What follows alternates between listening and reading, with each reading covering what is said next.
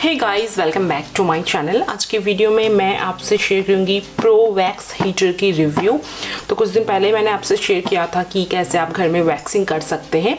तो अगर आपके पास इस तरह की वैक्स हीटर हो तो आप बहुत ही ईजिली घर में और भी आसानी से वैक्सिंग कर सकते हैं। एंड इस तरह की जो हीटर होती है ना वैक्स हीटर ये बहुत ही कम प्राइस होती है इसकी। एंड ये लाइफ टाइम आपकी चल जाएगी। तो चलिए देख लेते हैं ये प्रोडक्ट कैसी है कैसे यूज़ करना है डेमो वगैरह सब कुछ मैं आपको डिटेल्स में बताऊँगी इस वीडियो में। तो आउटर पैकेजिंग जो है ना कुछ इस तरह की है गाइस आप देख सकते हैं। तो यहाँ पर उतना आ, कुछ डिटेल्स में नहीं लिखा हुआ है। चलिए बॉक्स को ओपन कर लेते हैं।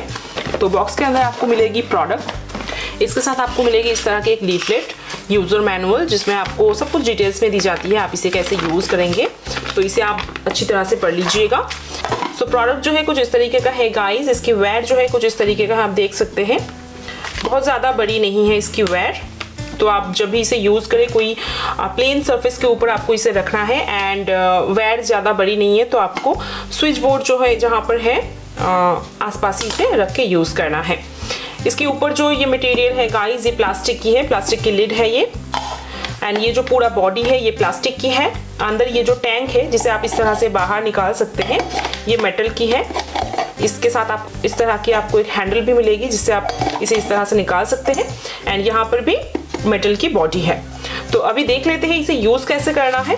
इसकी जो यहाँ पर स्विच है ना गाइस ये देखिए, आप देख सकते हैं, यहाँ पर मेंशन की गई है। Off on medium and high तो आप इसे पहले इस तरह से ऑन कर लेंगे।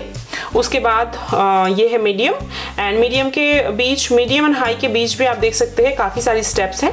तो पहले जब आप हीटर को ऑन करेंगे, जैसे जब आप वैक्स को गर्म करेंगे, सबसे पहले आपको हाई पे लगाना होता है। तो उसके बाद जब 10 मिनट तक इसे गर्म करना होता है 10 मिनट के अंदर ये गर्म हो जाती है। उसके बाद जब आप इसे यूज़ करेंगे तो भी इसे ऑन ही रखना है। मीडियम पे रख के आपको इसे यूज़ करना है। तो अभी आपको इसके टेमो दिखा देती हूँ। तो सबसे पहले आप इसे इस तरह से रख लीजिए।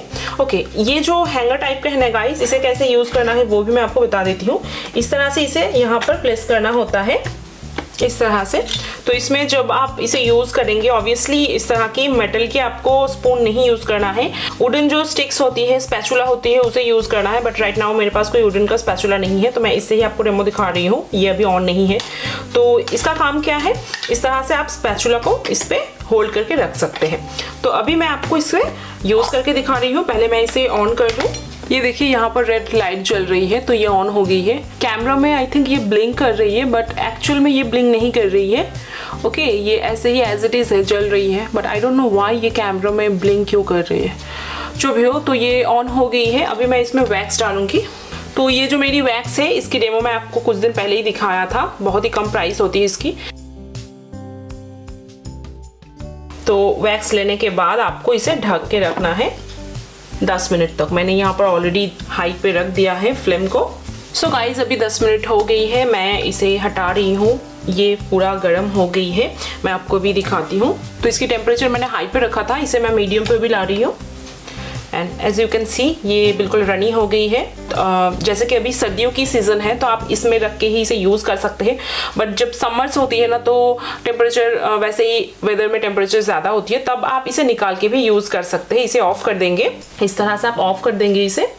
एंड उसके बाद आप ये हैंडल पकड़ के इस तरह से इसे निकाल के भी यूज़ कर सकते हैं। तो इसके डेमो मैं आपको दिखा देती हूँ। मैंने ऑलरेडी आपसे शेयर किया है इसके डेमो तो मैं वही डेमो आपसे अगेन शेयर कर रही हूँ कि इसे आप यूज़ कैसे कर सकते हैं। इसके बाद आपको स्किन को अच्छी तरह से वॉश कर लेना होगा। वॉश करने के बाद उसे अच्छी तरह से ड्राई कर लीजिए। स्किन को ड्राई करना बहुत ही इंपॉर्टेंट है। ड्राई करने के बाद स्किन पर आप चाहे तो थोड़ी सी पाउडर अप्लाई कर लीजिए। स्किन बिल्कुल भी ड्राई होना चाहिए, मैंने आपको बताया। तो पाउडर अप्लाई करने के बाद मैं क्या करूँगी, आपको एक स्पैचुला आप बटर नाइफ भी ले सकते हैं या फिर नॉर्मल नाइफ भी ले सकते हैं। लेकर आपको जस्ट इतनी क्वांटिटी आपको वैक्स लेना है। इसे अभी एक पतला सा लेयर जहाँ जिस स्किन पर आप हेयर रिमूवल करना चाहें, वहाँ पर आपको बस इतनी क्वांटिटी में इस तरह से पतला लेयर आपको अप्लाई करना होगा। आपकी जो हेयर ग्रोथ है, उस डायरेक्शन में आपको अप्लाई करना होगा। ओके अप्लाई आपने कर लिया। अभी आपको स्ट्रिप्स लेना है एंड एक स्ट्रिप लेके इस तरह से ऊपर आपको इस तरह से चिपका देना है एंड अच्छी तरह से इसे रब करना है ताकि ये स्किन से अच्छी तरह से स्टक हो जाए। इसके बाद आपको हेयर ग्रोथ की जो अपोजिट डायरेक्शन है, उस डायरेक्शन में इसे इंस्टेंटली जस्ट लाइक दिस खींचना होगा। And here is the result आप देख सकते हैं गाइज़ कितनी ईजिली कितनी कम टाइम में आपकी जो अनवॉन्टेड हेयर है, बहुत ही ईजिली रिमूव हो गई। इसे क्लीन करना भी बहुत ही ईजी है गाइस बस आप इसे निकाल लेंगे। ये जो प्रोडक्ट है, इसे आपको बिल्कुल भी वेट नहीं करना है ओके इसे आपको बिल्कुल भी वेट नहीं करना है। इसे साफ़ करने की भी ज़रूरत नहीं है। अगर आसपास वैक्स लग जाती है, आप टिश्यू से इसे साफ़ कर लीजिए बट इसे आपको वेट नहीं करना है। ये जो मटेरियल है गाइज़ ये एल्यूमिनियम की है तो आप इजिली इसे वॉश कर सकते हैं। अच्छी तरह से वॉश करके इसे क्लीन करके, इसे सुखा के अगेन आप इसमें रख के इसे स्टोर कर लीजिए। सो गाइज़ ये जो प्रोडक्ट है, बहुत ही हैंडी है इजी टू यूज़ एंड घर में आप अगर वैक्स करें तो इस तरह की प्रोडक्ट आपके पास ऑब्वियसली होना चाहिए। अगर आप इसे बाय करना चाहते हो, इसकी बाय लिंक मैं डिस्क्रिप्शन बॉक्स में डाल रही हूँ। वहाँ से जाके आप इसे बाय कर सकते हैं। एंड ऑल्सो अगर आपको ये वीडियो अच्छी लगती है प्लीज़ वीडियो को लाइक कीजिए एंड मेरे चैनल को सब्सक्राइब कर लीजिए। मिलती हूँ नेक्स्ट वीडियो पर। बाय